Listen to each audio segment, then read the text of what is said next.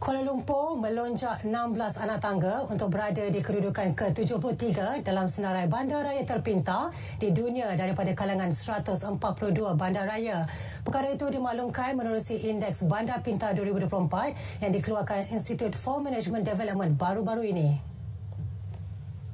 Tahun lepas, Kuala Lumpur berada di kedudukan ke-89. Laporan mengetengahkan beberapa prestasi Kuala Lumpur yang membanggakan termasuk kemudahan pembelian tiket dalam talian dan keboleh capaian penyenaraian pekerjaan dalam talian yang memudahkan untuk mencari kerja.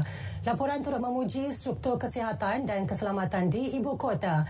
Bagaimanapun, laporan itu mendapati isu kesesakan lalu lintas, rasuah pencemaran udara dan rumah mampu milik merupakan antara isu paling membimbangkan di Kuala Lumpur.